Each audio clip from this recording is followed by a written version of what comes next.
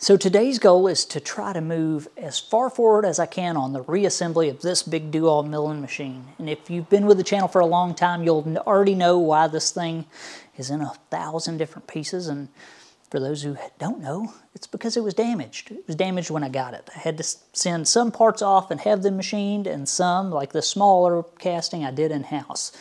And now that all of that's done, it's time to start fitting these parts back together. So let me bring in. I'll show you the parts that we're going to be fitting, you know, explain a little in a little more detail what's going on and why it's happening, and we'll see if we can't start fitting these two back together. It's going to be fun. So in last week's video, we installed the knee of this machine onto the main casting, and now it's time to install the saddle onto the knee. Now, here's where I'm going to run into some fitment issues, and that's because both the saddle and the top of this knee had some pretty significant damage from scoring, and I sent this off about a year ago, had it ground by Cash Masters up uh, at Minnesota, and we ground off just enough of these two machine surfaces to get them both parallel and flat again, because they had quite a belly in them from the scoring. Now there is still a lot of low scoring marks left behind here, but that's just cosmetic damage. It's not going to hurt anything, and it to remove all of the cast iron that would be required to get to the bottom of the lowest score mark here would cause major fitment issues when we're going back together and I opted to not do that simply because I'm far more concerned about what this thing functions like than what the machine ways look like. As long as they're accurate and flat, that's really all I care. So let's grab the saddle. We'll flip it upside down on this thing and hand grind in our oil reliefs. Then we'll flip it start fitting it with a gib to uh, the top of the knee here.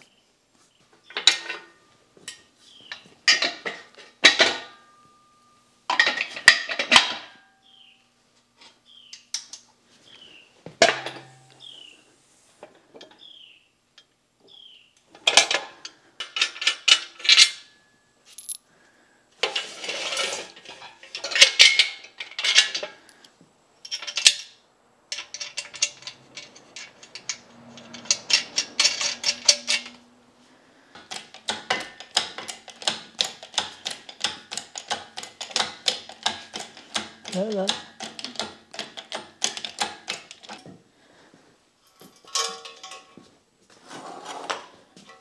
Push forward.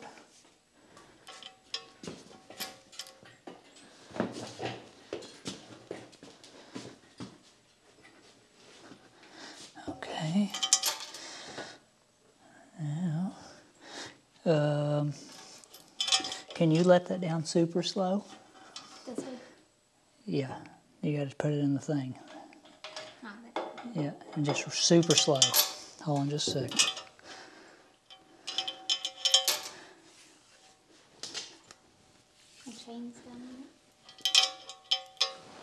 That'll be okay. Ready? Yep, super slow.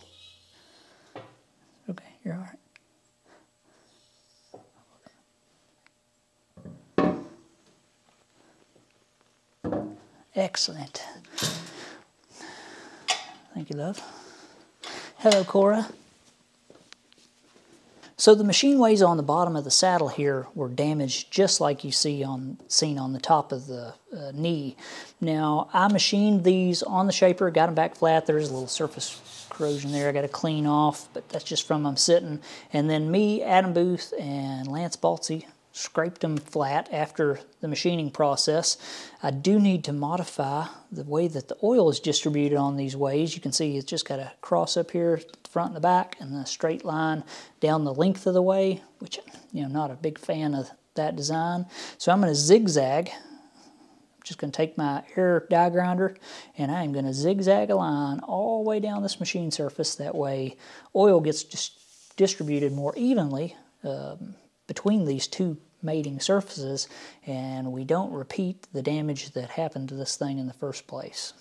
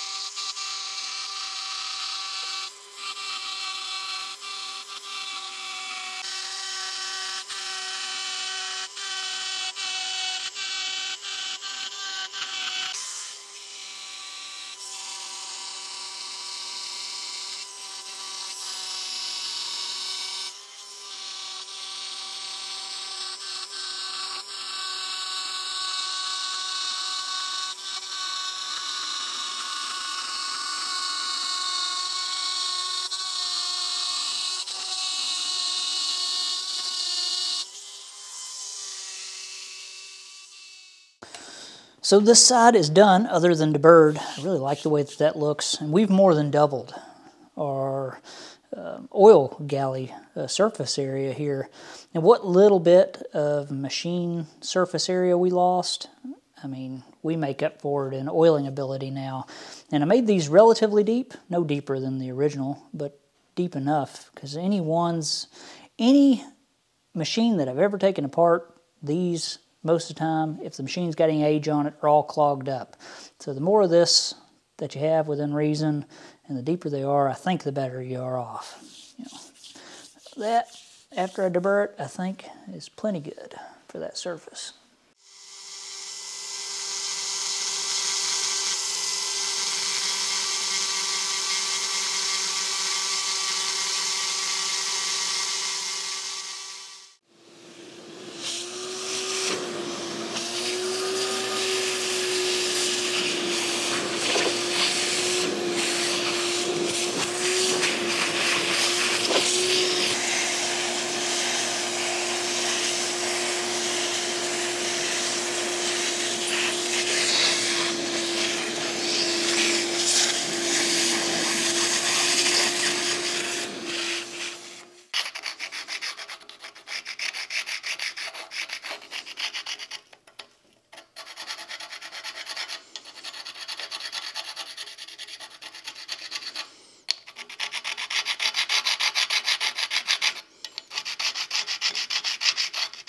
So the bottom of the saddle, the oil passages are modified, and now before I put the saddle on to the knee, what I want to do is break up the surface just a little bit with a hand scraper. And what I'm going to do is, is I'm going to flake the surface.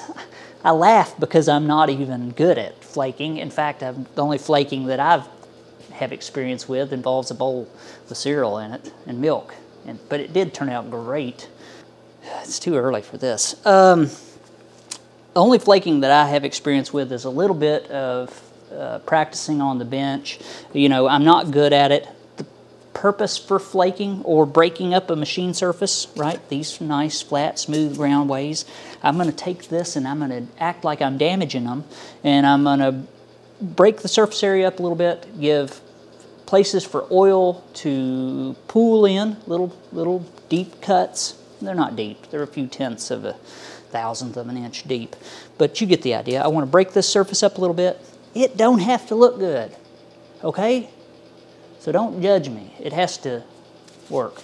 Um, so that's the idea. You know, uh, this type of work, using one of these efficiently, uh, it takes a long time. In fact, some people would argue it takes basically a lifetime to get really, really, really good at machine rebuilding and flaking. A lot of, uh, lot of repetition and practice, which I haven't done. So that's what I'm gonna do. Flake this really quick, then we can put it on there. I can check the fit of the gib, and then I can either modify or whatever I have to do for my next step.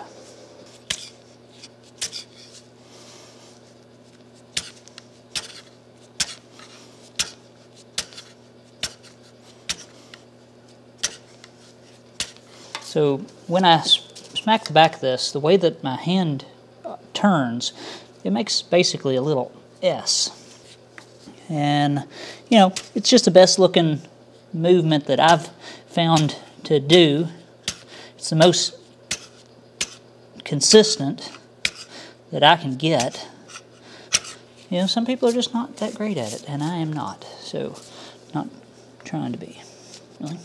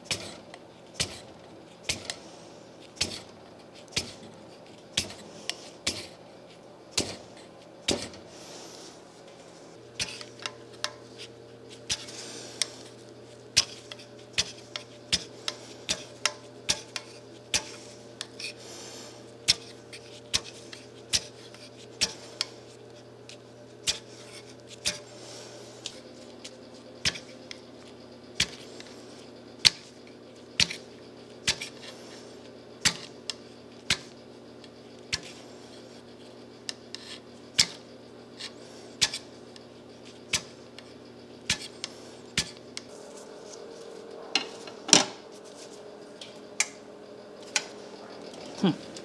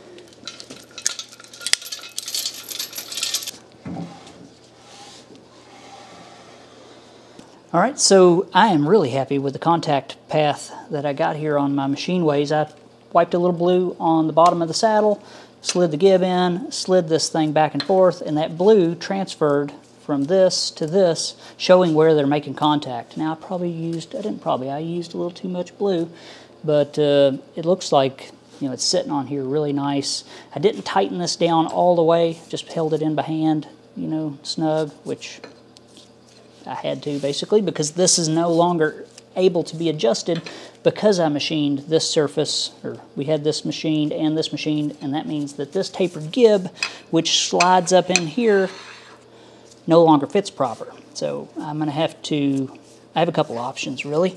A, I can make a brand new tapered gib, which I have done before. It is not a whole lot of fun, which is, and that's probably the best option. Or B, I can pad the back of this gib with some Turcite, you know, which is probably what I'll do. And in fact, for this machine, non being not being a production piece, it is probably the quickest and easiest way. And it's not going to cause me any problems, I'm sure, but we'll see. You know, I'm not 100% certain on what I'm going to do yet, but something revolving, modifying this is coming up. So I'm happy with the way that this fits. We want an even distribution of weight between this and our machine ways. That way we don't get accelerated wear. Uh, you know, its accuracy lasts for a while, on and on and on. So really, really pretty, pretty happy with the way that that fits actually.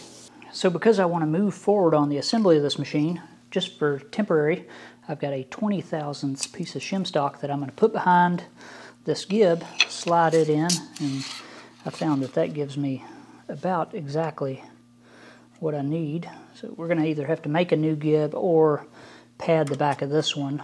But this is just temporary, like I said, not a good idea for a long-term fix, uh, what, uh, what I just did there. But that's okay, because all I want to do right now is move forward with the assembly of this machine. I can literally fit a gib to this anytime. So long as it's tight and in adjustment and everything's where it's going to be, that's really all I'm worried about at the moment. So I'm going to put this shim gib, shimmed gib in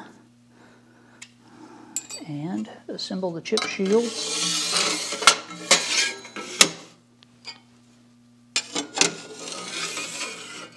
And then I can put in the crossfeed nut.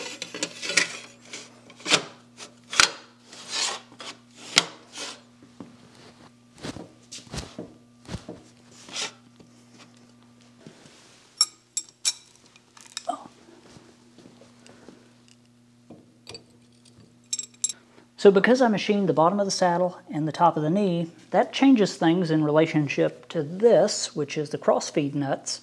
So it's going to affect only one of these two that are permanently fixed together, and that is the saddle front to back, because this table surface is now just ever so slightly closer in relationship to this machined hole than it was originally when it was first fit. That means I could have screw binding issues on, you know, on the saddle forward and back. Originally it was spaced with just this shim here, which is stamped number 37, just like every other casting on this thing. But there's a lot of stuff that you that has to be taken into account, you know, when you uh, do an, do a change like this or repair a machine. It's not just, you know, machine your surfaces and put it back together, right? We got that we'll have to potentially deal with, and and the gib.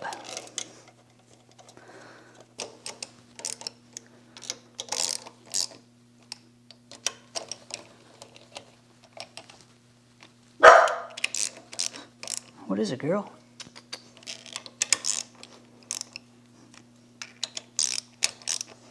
Hmm? What is it?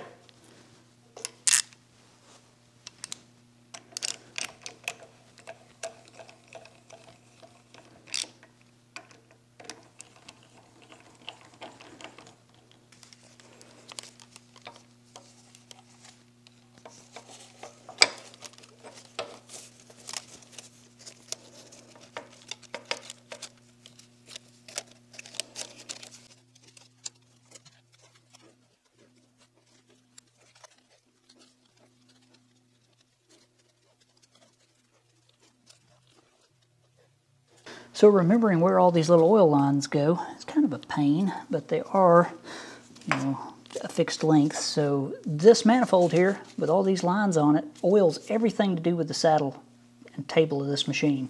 We've got oil hole there and there, and we've got lines that hook into the bottom.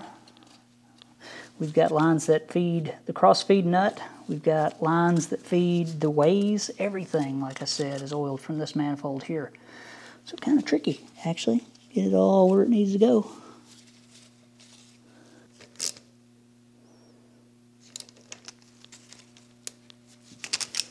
All right, so this is probably going to be the last piece I'm going to be able to install this week, but I want to touch on this super quick. I think the engineering in this piece alone is awesome. So this houses the lead screw nut for the table, right to left. So not only does it house this nut, but it's a two-piece nut, so it's adjustable. This is a fixed nut here. You can see it's got threads in there, so it's fixed. No adjustment in those screws. This side, it's got slotted holes, so you can take any slop that's in the lead screw out simply by twisting one of these right or left. It's right in the middle of the adjustments, so that, that's a good sign that it hadn't been messed with. So holds the lead screw nut.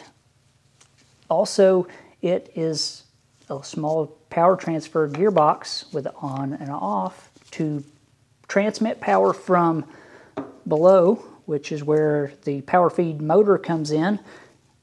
So through this little handle here, there's a cam that either engages or disengages uh, the option of power feed right to left on the table. And that lead screw that goes through this nut, it's keyed all the way down its length. And when this engages, it just it's powered by that key. You probably can't see it, but there's a key in there that locks into that lead screw, and that is what turns that lead screw, that key, and moves the table right to left. So pretty neat little setup there, all kind of packaged into a really small, you know, rigid uh, little casting. Nice.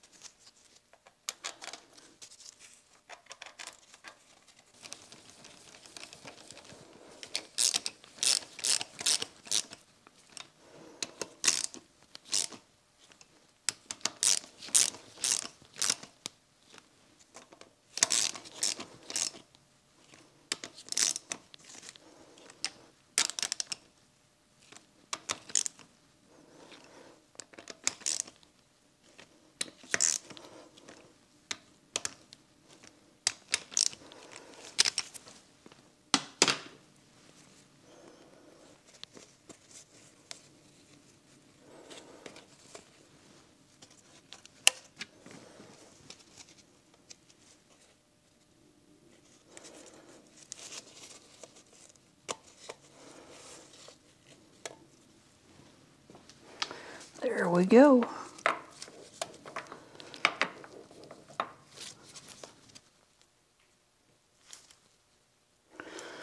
So I'm checking the oil pump. This is just a hand operated oil pump, making sure the oil's traveling through all the lines like it should. Just, you know, making sure that it's doing what it should be doing. And I mount this thing to the bottom of the casting and that's enough for now.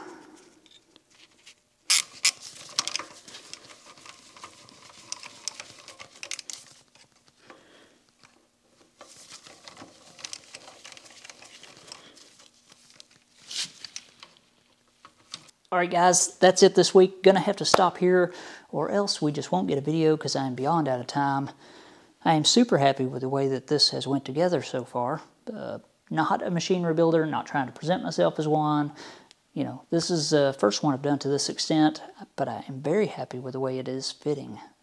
Still got a lot of gib issues, Gonna have to address that, both on the saddle, and I expect that I'm gonna have similar issues on the table gib, which happens to be about, you know, seven foot long, because the table was machined as well. We'll see. You know, it, I don't think that it's gonna be out as much as this one, but it's still gonna be out of adjustment, uh, I expect.